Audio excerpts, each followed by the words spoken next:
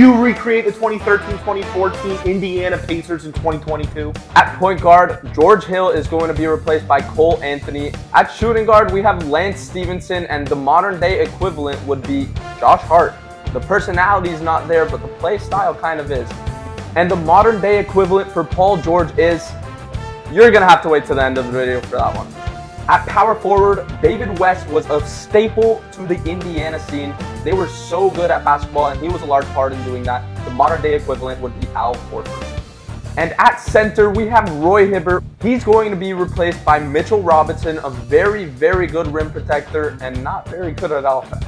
And last but not least, Paul George, before he was PG 13, before he was playoff P, is replaced by Jaylen Brown, his 2022 modern day equivalent. What do you think of that comparison? I don't think this team is taking the big three heat to game seven, but